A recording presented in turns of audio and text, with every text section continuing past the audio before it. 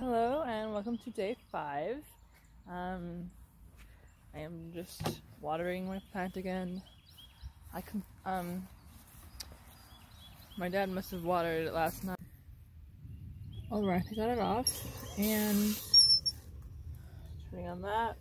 I don't know if you can see over there. The um hose is in the watering can. I consulted my dad about the green things in the flower pot, and he said they're most likely weeds. Um, so I'm gonna wait until tomorrow to actually decide whether I'm pulling it out or not. Watering the plant.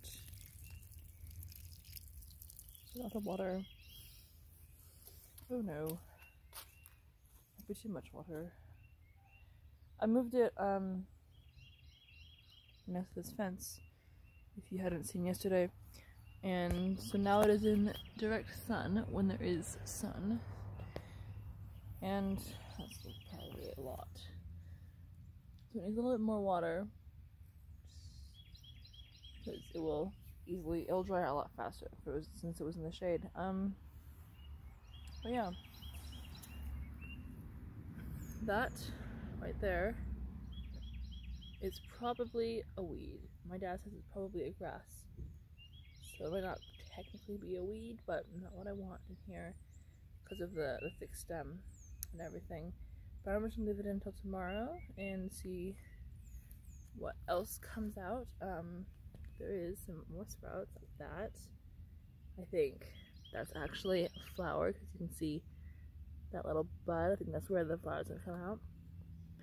And then over there, I think it's also another flower sprout. And some right there. And a little more right there. So the flowers are sprouting. I'm gonna weed it tomorrow when um, I'm more positive that it is a weed and not plants. I'm also possibly to pull out any other plants that are pretending to be flowers. So yeah, day five. Got some weeds and some flower sprouts.